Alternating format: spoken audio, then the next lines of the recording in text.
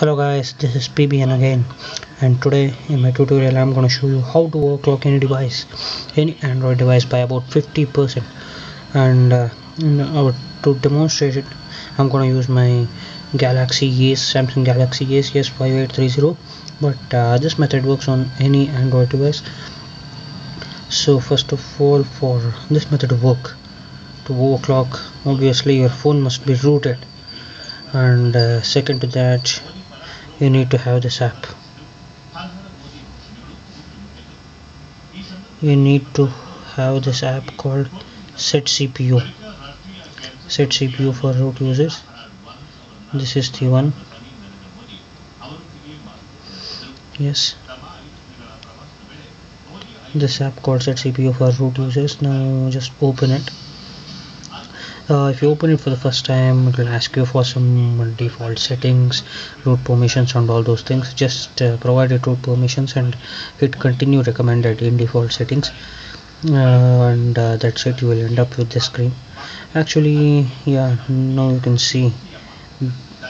Uh, it's running at 806 megahertz but actually galaxy ace default clock speed is 787 megahertz 787 and 122 this is the lowest frequency. Uh, so uh, it's as its default value 787 it's not pretty much enough to play some types of games and all those things. So let us overclock. Uh, the main thing here is overclock value by value. Don't overclock it directly. Overclock it one value by value like first let's let me tap on 806 825 844 864 now switch your tabs if you want. See it went up to 864 there 883 and uh, 902 now you can see just switch tabs to uh, check. There's no problem at all no problem at all yeah. 902 megahertz it's overclocked at. You can still go further if you want like 921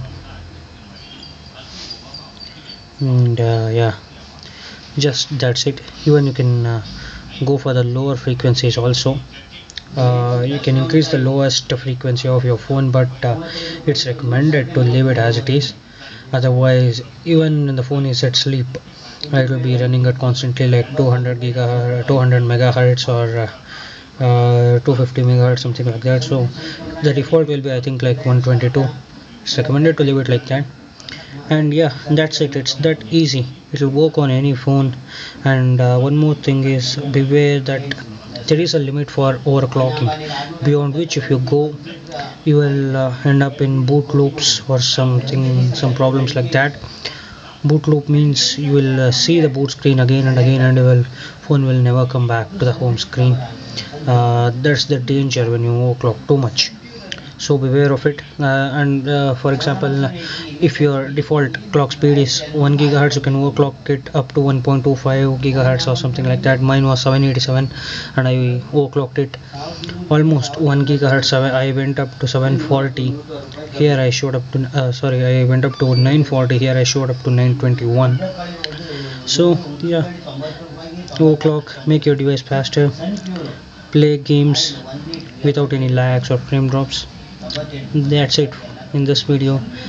Like it if it's useful. Subscribe to my channel for new cool videos. Thank you